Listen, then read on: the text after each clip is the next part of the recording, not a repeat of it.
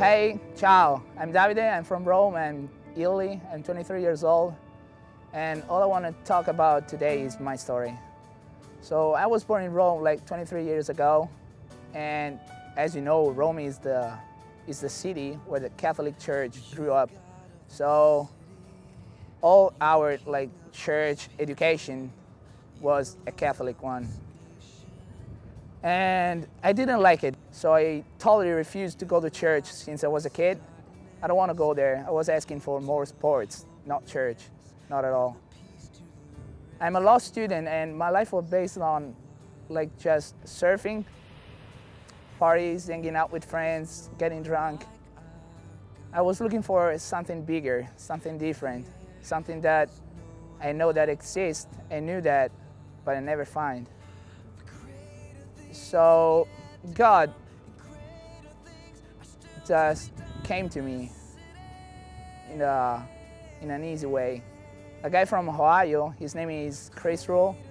He was working for Agape Italia, that is the Campus Crusade for Christ in, in Europe.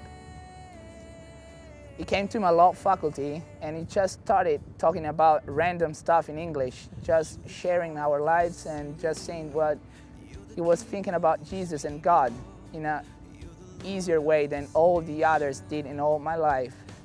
So I was supposed to go to hell, but I'm not. You know what? I'm not going to hell, not at all. This guy, Chris Rule, he brought Isaac Jenkins from Ole Miss down in Rome, and another guy, his name is Gabriel Gonzalez. And they came to me and then just started talking about Jesus, talking about how Jesus changed their life how was their life before and, and how is their life right now. And it's great. I shared their life right here in Ole Miss, and it is great. It's so cool. I loved it. So we, they just brought me all around Rome in all the churches. And that was the moment I decided to become a Christian because I never been to a church before.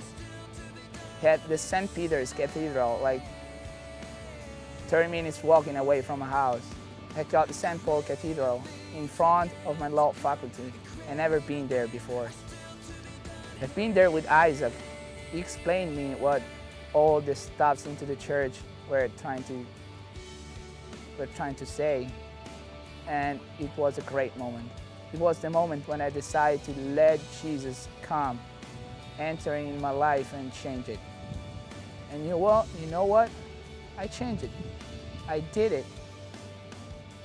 I'm a cool guy. I'm going 80 days in Hawaii tomorrow from Italy, just surfing, sharing my faith with the others, telling them what Jesus did in all my life and what he's gonna do again and again and again forever.